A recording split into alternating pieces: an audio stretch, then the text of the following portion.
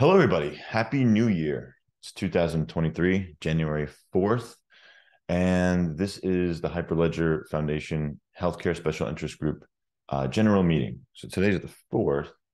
And uh, what we do in this meeting typically is one, first of all, it is recorded. So this will be on YouTube. So anything, if you do want to share anything, will be shared publicly. So just be aware of that. You can view the Linux Foundation antitrust policy um, on this agenda page, which you can click into. This is a public page. Um, and yeah, other than that, I just wanted to quickly say or ask the community if they have any announcements they want to share before we kind of jump into some of the upcoming events and news and articles that I found over the last couple weeks.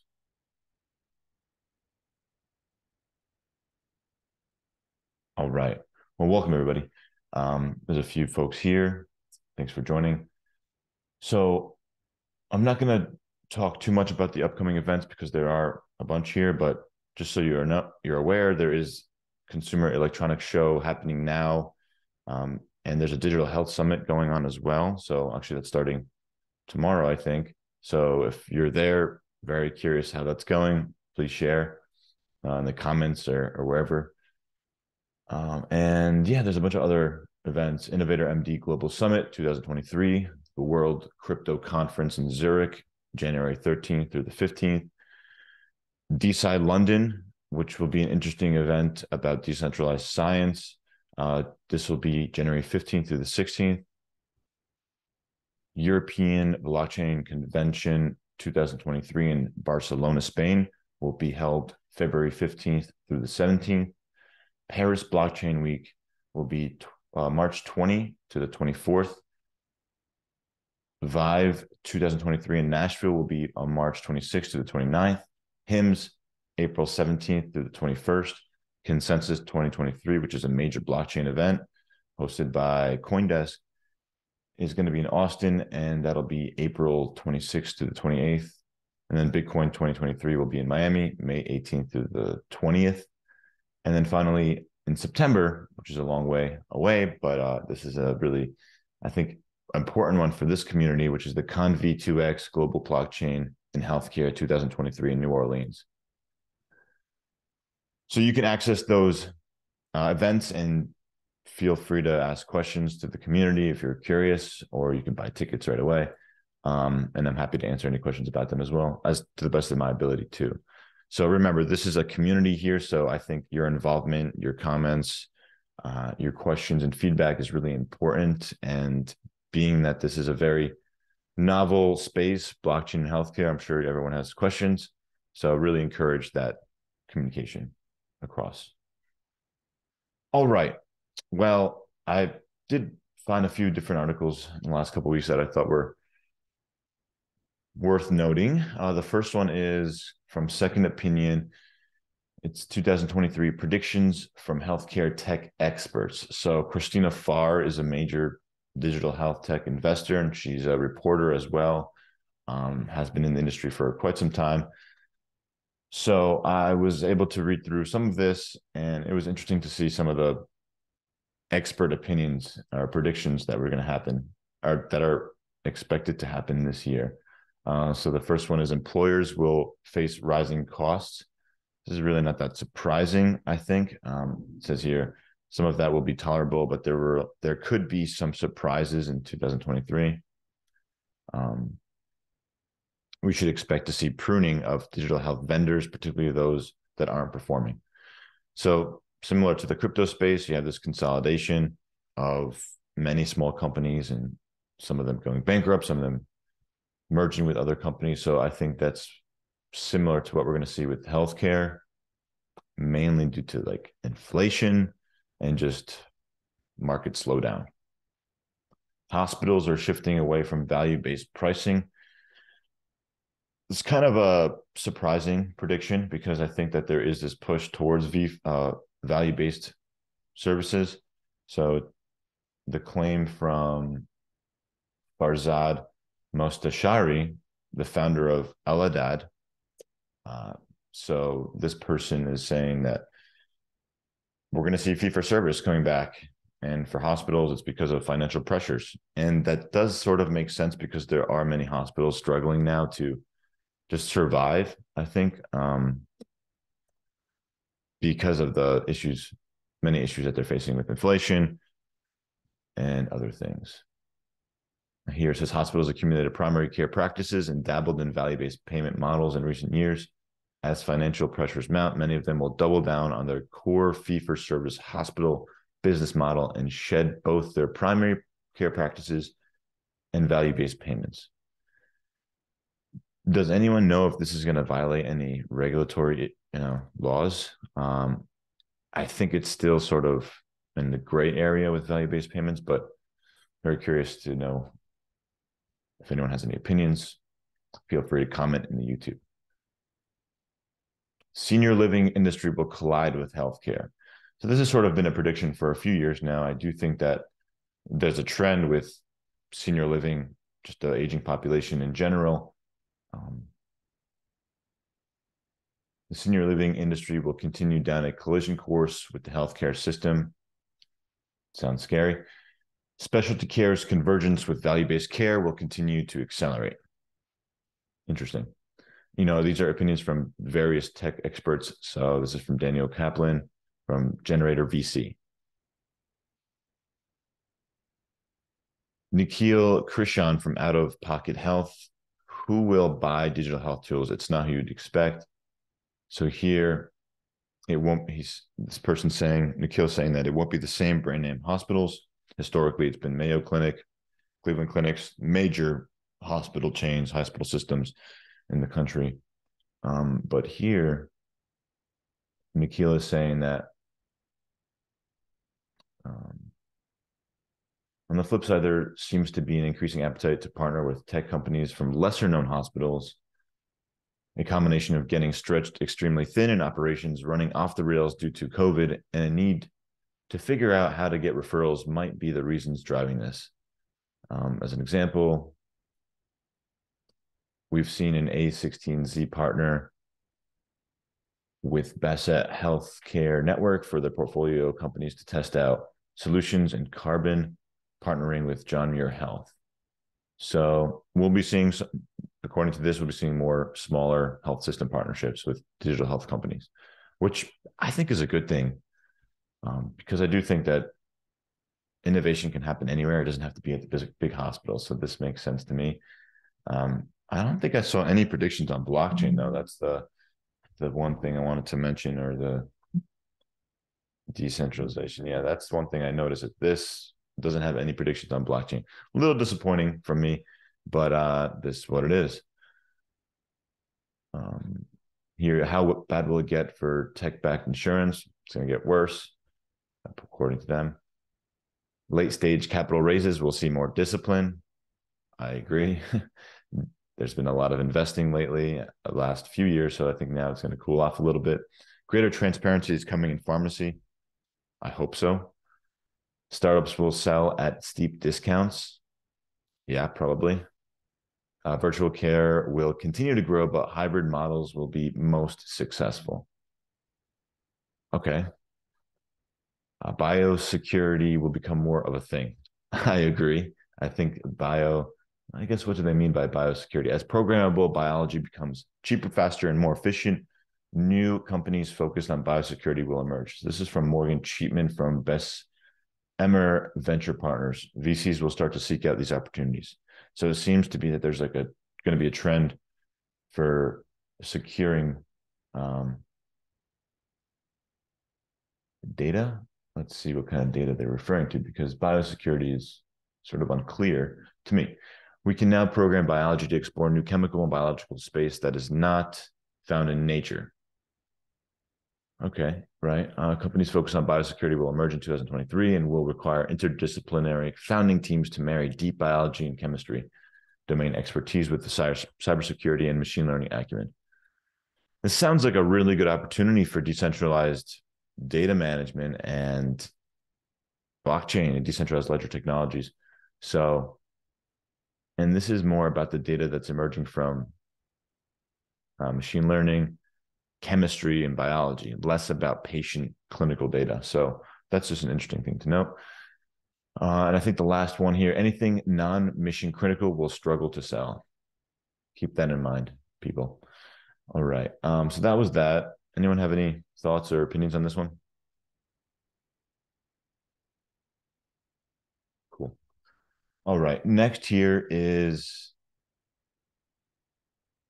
how open standards support enhanced distribution security. So this was a I'm not going to go through all of this, but it was interesting to see how much content was shared. This is from uh, George Jurgis and um, talks a lot about the DSCSA, which is the Drug Supply Chain Security Act. A lot of people are pushing blockchain technologies in order to make this um, regulation more attainable or doable, technologically speaking. So uh, it's interesting to see what he speaks about here and how he's promoting open standards, which is really important. And just so everyone is aware, uh, with less than a year to go until full DSCSA enforcement on November 27th, 2023, mark your calendars. An, inter- an industry-wide collaborative push is needed to get everyone from manufacturers all the way to dispensers uh, ready on time. So a lot of work being done in the space. There's a lot of videos here you can watch. So how do manufacturers support small uh, dispensers? So if anyone is in the supply chain healthcare space for drugs, I think this is just a really good resource that's fairly um, new, December 14th. So I think you'll get a lot of value from this.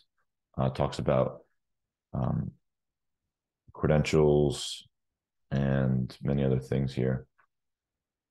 Uh, but specifically, I think the point is what's the big deal about open standards and how important are they in the future for open standards and Hyperledger being an open uh, community. Uh, I think it's really important to just emphasize that open source, open access is something I think that benefits society as a whole. Uh, and I, am just glad to see that this is happening for the supply chain space in, in drugs. Um,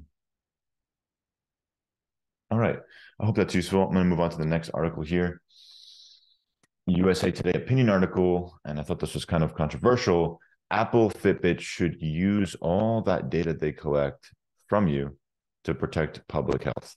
So, you know, as you can imagine, a lot of people wouldn't uh, appreciate this stance because really they don't want to share their data or they believe that their data is private. So there's no a right for the government to take that data from them and use it. Um, also, there's a risk of that data being sort of lost and shared with many other people and not really well secured and controlled. So I think that's the other issue too. It's not just privacy issue, but it's the fact that it can get sent out into the wild and you know shared with anyone in the world potentially. Uh, the marketing for the Apple Watch says it all. A healthy leap ahead. That's how the article starts. Here's to a healthier you. Uh, so they talk about the Apple Watch here. Talk about you know mapping exercise or disease. So how do you include these factors into um, you know determining a person's health and then population's health, for example. Um, it says here Fitbit publishes reports that show, for example, communities where people exercise the most. Cell phone location data is sometimes used to map disease outbreaks these models and their underlying data sets could prove to be a boon to those people and agencies responsible for protecting and improving all of our health. Interesting. So, aggregated health data reflects community wide factors. Uh, that reflects community wide factors has for centuries now aided public health practitioners, allowing them to make seemingly simple improvements that nonetheless greatly impact people's lives. So, I mean, this is an interesting claim. Um, they talk about specific examples like early warning systems for suicide. I think this has been discussed as well in the veteran affairs communities. I think that's where we see a lot of, unfortunately, a lot of suicides uh, by our military people, um, especially retired people again, I'm glad that they mentioned privacy concerns here. There are, to be sure, many hurdles to using social and community data in digital health products. Some users may have privacy concerns about sharing data with pol- with uh, companies or public health agencies. Overcoming these hurdles could involve developing more open source standards for transparency about data management or ensuring that people can control when and with which agencies to share personal data.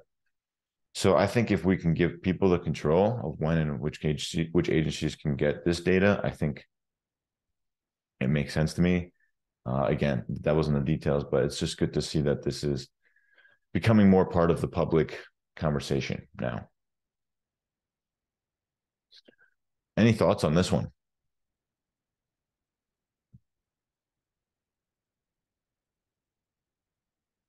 All right, moving on here. So there's I shared a predictions article, and there's another article in Forbes with anti predictions. What won't change in healthcare? And this was kind of a fun one to read. Uh, number one, consumers won't and maybe shouldn't take control of their healthcare. Okay, a lot of things we talk about in the blockchain distributed or Web3 communities is about taking control of your own data, taking control of your own um, life and how you can do that. So this is interesting because uh, the president of Amwell, who is uh, Amwell is like a major telehealth company in the United States. I used to work for them actually, so I, I definitely know um, about them, and I think that they're doing really you know a great job reaching lots of patients and providers. So I think what they're doing is important. Uh, however, I, I, don't know if I agree with this statement that consumers don't want to control or don't need to control their their own health or healthcare. I think there's somewhere in between. I think, and the claim here is that you know, healthcare is there to help us when we're vulnerable, and healthcare providers are there to provide that. They are the experts. So it's this way of just pushing over responsibility to the providers and away from the individual and I think many patients are in that situation. Many people might not want to invest time to understand their health data or data at all. And I think this, you know, is reflected by uh, Roy here. And yeah, it's just interesting to see. I, I think there's some in between zone where there's a trend where people I think will want to own their own data, but we're not there yet. So uh, just to make a point here, the chief legal and digital health officer at Bassett Health Care Network says people seem to care less about control of their data and more about getting the right data to the right place at the right time without them having to worry about it. And if you're putting, you know, hair health data on the blockchain, you're probably have to worry about it. It's kind of not an easy user experience. So I think the user experience is what will bridge the gap between uh, wanting to own your data and not wanting to own it. Uh, moving on, 2023 will be a big year for big tech in healthcare um, we'll talk about here. You know, in 2023, we'll see a continuation of this failure to launch across big tech because of lack of specialized insider knowledge involving the many facets of healthcare delivery. It's from the CEO of PointClickCare. Um, very interesting. Yeah, and I think we've we've kind of realized that it's hard for big tech to get healthcare right We've seen it with Google, Amazon. There's a lot of examples. Um, they keep trying, and I think that's a good thing. I think they should keep trying because it's an important space. But um, yeah, digital health does not rebound very quickly. Anyway, it may feel boring. Okay, I won't disagree with that. Things will be tough in the first half of 2023, at least. It may feel boring. uh, interesting value based care doesn't take center stage. We've seen with the previous examples, uh, that's also what they were claiming too.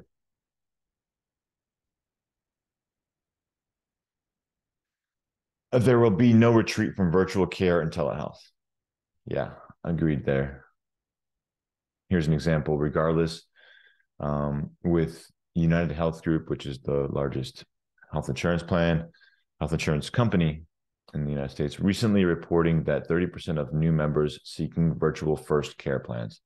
That seems that telehealth and virtual care is here to stay. Not too surprised there, but that's good that the industry is recognizing this. smaller health systems won't recover quickly. Agreed. Um, and we'll see what happens, but that's a trend. Washington won't solve all our problems. People are waiting for major federal policy, but nothing happens in 2023, speculates Don Trigg, CEO of Apree Health, formerly Vera Health and Castlight Health. Uh, so that's interesting.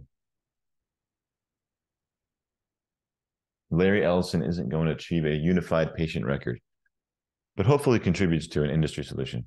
So if you didn't know, Larry Ellison, founder of Oracle, recently acquired Cerner, which is a major, the second largest electronic health record vendor, uh, bought them last year and claimed to have a solution for a unified patient record system. Um, this prediction is saying that that's not going to happen, at least not in 2023. Good luck, Larry. We're rooting for you. Um, so, grit, passion, resilience, and hard work to innovate doesn't go away. So, I believe this is this is true, and I think that we're going to continue seeing a lot of grit, passion, and resilience from the healthcare community and industry because that's why we're doing it. I don't think anyone does healthcare because it's easy. I think they do it because it's important. And this article or this prediction agrees with that. So those are the anti-predictions predictions uh, from Forbes. Next, we have, I thought, an interesting article about IP NFTs in great detail from Tyler Golato and Vincent Weisser. This was published a couple weeks ago, December 21st. And it talks about the future of research with IP NFTs so, for those that may not know this, IP NFTs stand for intellectual property non fungible tokens.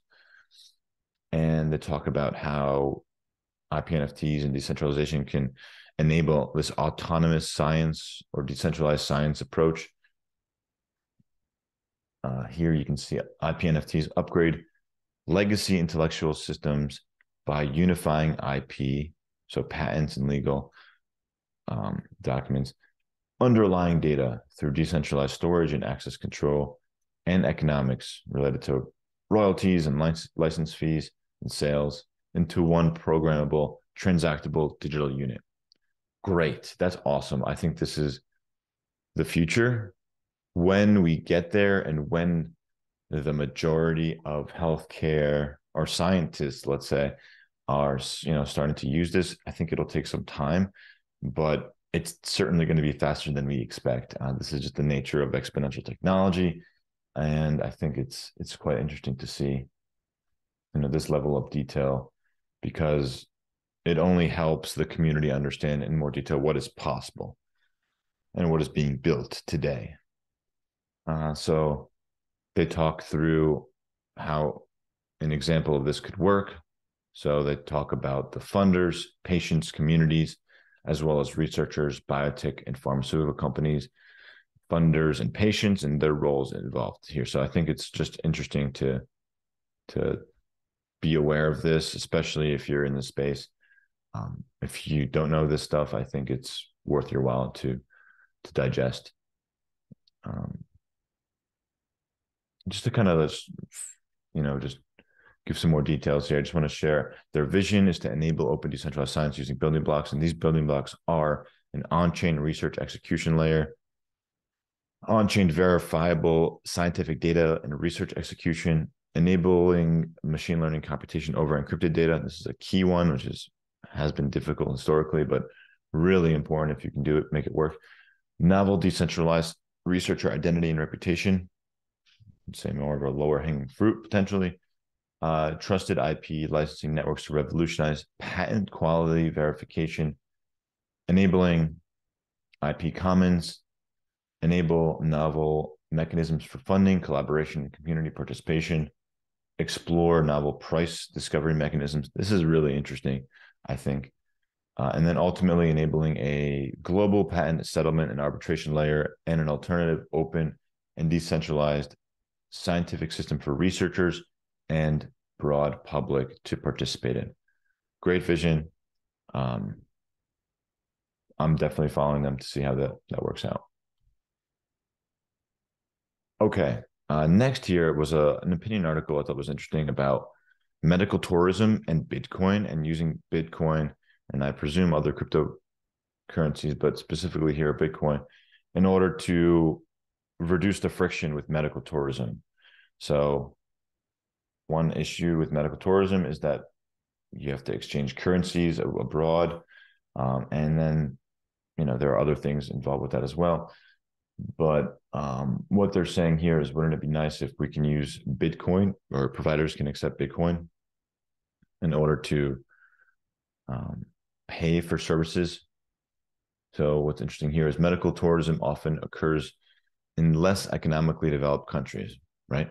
Uh, people travel to countries where services or surgeries are cheaper. Makes sense.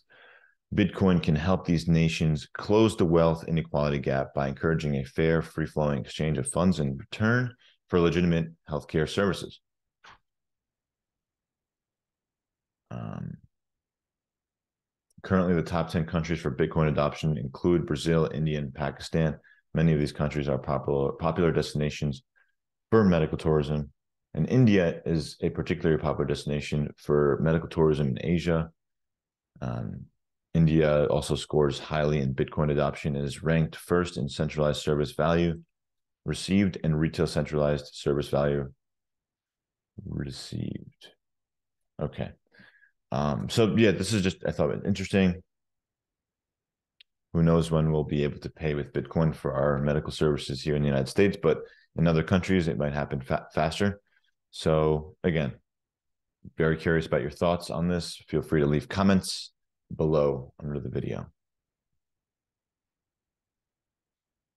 All right.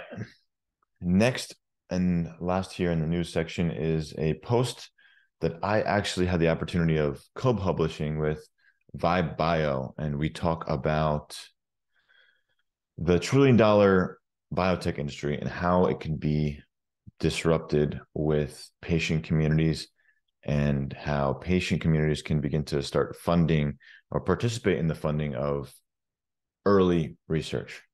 Um, and we specifically focused on rare disease in this article. And just a note here, there's over 10,000 rare diseases that have been cataloged, and that number keeps growing as the diagnostics for detecting those diseases are improved. Um, you might be surprised to learn that considering that one in 10 Americans actually suffer from rare disease, and fewer than 10% of these conditions have FDA approved treatment. So 90% of these diseases don't have an approved treatment. This means that there are a lot of people suffering that can potentially want to help accelerate research, especially early research uh, in this space. So we, we talk about the role of patient communities and decentralization more broadly. Um, we talk about patient advocacy organizations and how they're starting to exert more influence on health policy, specifically, uh, which determines the urgency of research development. So very, very important, I think, to be aware of the rare disease space because it is sort of unique in the way that um, communities are important for for them to really get traction with with commercialization of products. So yeah, I think this is you know really enjoyed writing this with Vibe Bio, and I hope you guys are able to check it out. All right, a couple educational nuggets I found. One was a response to Chat GPT three. This was published in the Analytics India magazine, uh, and basically they're talking about how there's new tools and services, um, chatbot services for healthcare, and specifically the one that Google introduced called, um, I think it's called here MedPalm, or it's called Multimed QA, a newly introduced open source medical question answering benchmark. It combines Health Search QA, a new free response data set, data set of medical questions saw online with six existing open question answering data sets covering professional medical exams, research, and consumer queries. So they go into detail about how this works and where the data is coming from in more detail. Um, here it says these comprise the clinical topics data sets, MedQA, MedCQA, PubMed QA, Live QA, Medication QA, and MMLU. Not entirely sure what MMLU stands for, um, but I'm sure someone does. And if you do, please leave a comment in the video under the video below. Uh, in addition, a new dataset cure of curated frequently searched medical inquiries called Health Search QA was added to improve multi-med QA. So I guess the point of all this is instead of you know the open AI chat tool that we might have all played around with already, um, it doesn't have the capabilities to answer really detailed medical questions. If we introduce these new data sets with ChatGPT-3, uh, I think we can improve the results of those questions. And they have some examples here um, about questions they asked. So here they ask, how do you know if ear pain is serious? You can see here that you know ear pain can be a sign of several underlying conditions, including all this information, which seem to be pretty good. I think this is what a, a, doctor may say. Don't quote me on this. This is not medical advice at all. of course, I think you guys can judge for yourself. Um, you know, so I just think it's interesting that this is happening so quickly, and I think that we're going to need to be careful about trusting the data that the AI will spit out. But I think we're getting much better at detecting um, what's not true. So. Um, and they mentioned here Google isn't the first tech behemoth to venture into AI driven healthcare solutions. Microsoft is also working closely with OpenAI with the OpenAI team to employ GPT-3 to facilitate collaboration between employees and clinicians and improve healthcare teams' efficiencies. So, well, in addition to that, actually, Meta AI introduced Galactica, the AI generated program that claimed it would support academic researchers by generating comprehensive literature review and wiki entries, entries on any subject. However, it failed due to unre- sorry, unreliable results. Excuse me. Yeah, so a lot of things happening. I think 2023 we'll see a lot more assisted chat chatbot AI systems, uh, especially in healthcare, where a lot of the work that is done is sort of education patient based. And I, I, think that we can leverage AI to do some of that work for us. Although there needs to be a balance between the human touch and I think AI. Um, yeah. Any thoughts, questions on this?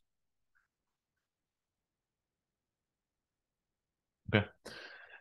Uh, and then just finally, I wanted to share with you all a conversation I had with the founders, the core people, the core leaders of the DeSci World organization, which is a organization trying to raise awareness about decentralized science more broadly. Um, you can check it out on any podcast player. And yeah, that's pretty much it. It's with uh, Joshua Bate and Jelani Clark. Uh, it's about an hour long, so a lot of insights in there, and talk about the, the you know experience of starting the company and what they're working on. And they'll be at the DeSci London event as well in January. So, uh, with that, if there's no comments or questions, I just want to thank you all very much for watching, listening, and being part of this uh, growing community. It really is important that you know even in these down times uh, we need to focus on what's important and to build and communicate and educate people on how decentralized ledger technologies and open source communities can really help create awesome products and grow and grow many things uh, for people. Thank you all. Do you have any questions or comments? I see a chat here. Um, yeah, I just uh, shared a, a like I do some uh, like industry uh, analysis to find the the, um, the World Economic Forums. Uh, those analysis is pretty nice. So maybe Sunday, I don't know, should be used. It has to be used here or not. If you can see whether uh, those uh, areas match to the Hyperledger solution areas. Yeah, thanks for sharing that. And I'm, I'm looking at this article now and I'm seeing the different areas here. So explore transformation maps um, to the future of health. Click into this.